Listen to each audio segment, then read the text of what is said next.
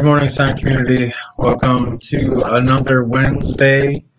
Uh, it's Pastor Andy coming to you live from my office here at Sion Lutheran Church, located in Lancaster, Minnesota. And this morning, as most Wednesdays, uh, is the transition into the time where I start prepping sermons. Uh, this week it comes a little bit quicker because we have Christmas Eve service on Friday, and that's two days away, and it's throwing my rhythm off just a little bit. Uh, but nonetheless, we had a good text study yesterday. We are looking at Luke chapter 1, and I think it was Luke chapter 1, 2, Luke 2. I don't know. That's that's how discombobulated I am, folks. Just I don't even know what the reading is. But nonetheless, we were talking about the birth narrative of Jesus, how Mary and Joseph are you know, forced to go to Bethlehem because of the census and the shepherds and the baby and all of those things. And it's and one of the questions posed by my colleagues was, what new things can we share? Because for those of us, or those of you anyway, who have been going to church for a long time, especially around Christmas, know the story. You know what happens. You know what's coming. You know what to expect.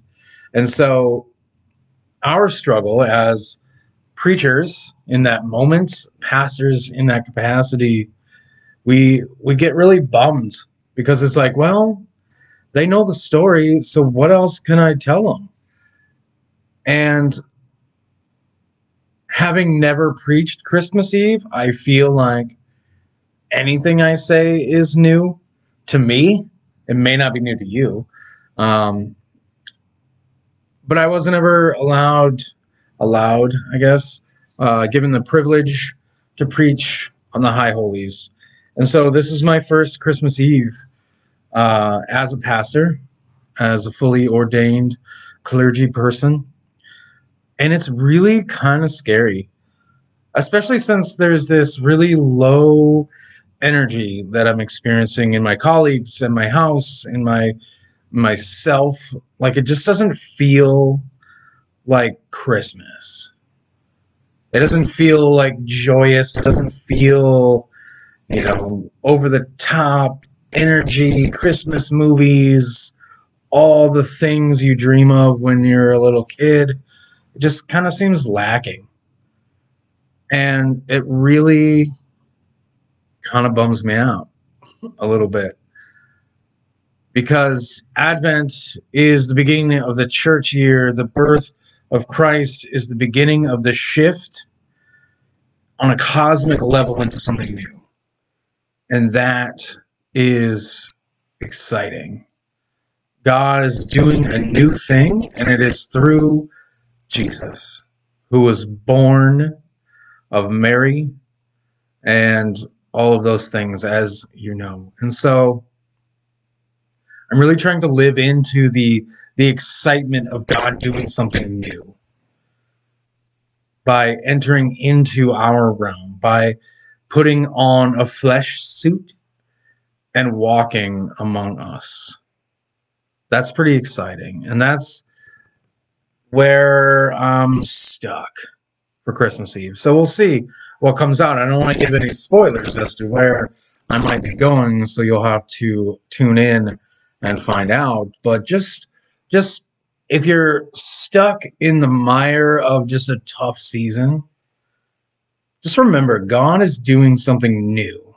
God has done something new. God continues to do new things through Jesus by the power of the Holy Spirit.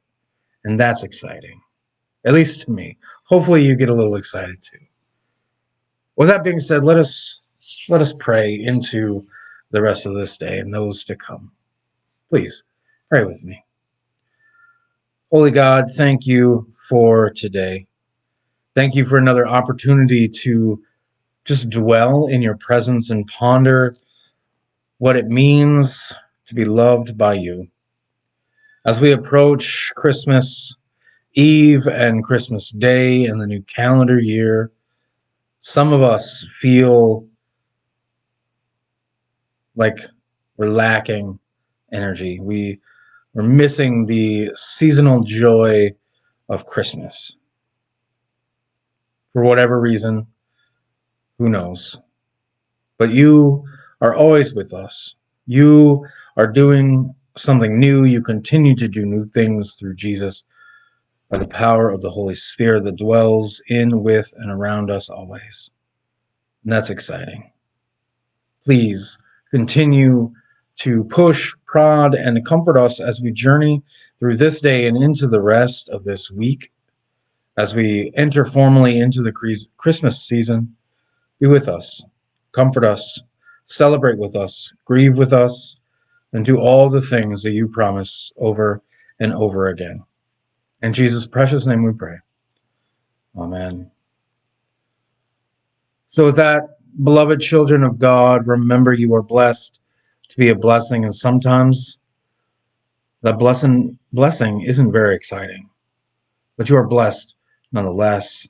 And that blessing that is bestowed upon us is intended to better our relationship to our neighbor. So share it. Share the good news of Jesus. Share the new things that God is doing this season. And until next time, hopefully I will see you Christmas Eve, but if not, it'll happen when it happens. Take care.